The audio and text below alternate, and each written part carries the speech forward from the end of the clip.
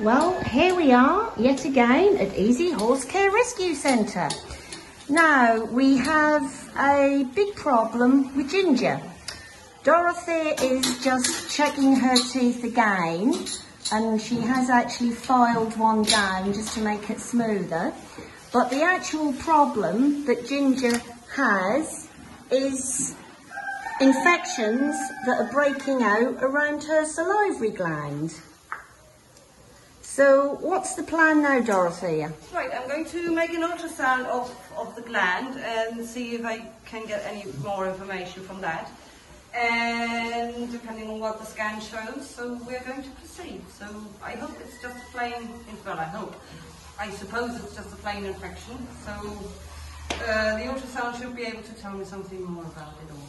Well, let's see how we go then.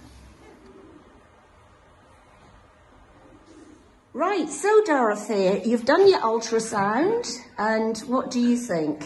I think that it's uh, an infection, okay, so uh, sialoadenitis, I think is the word in English for that. Uh, so I hope that it should uh, respond to antibiotic therapy. It will probably need a, a, longer one because there are quite several areas affected of, of the gland.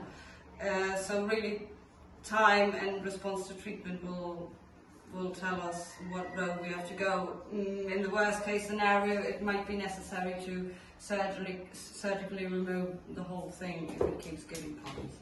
Well, thank you very much, Dorothea.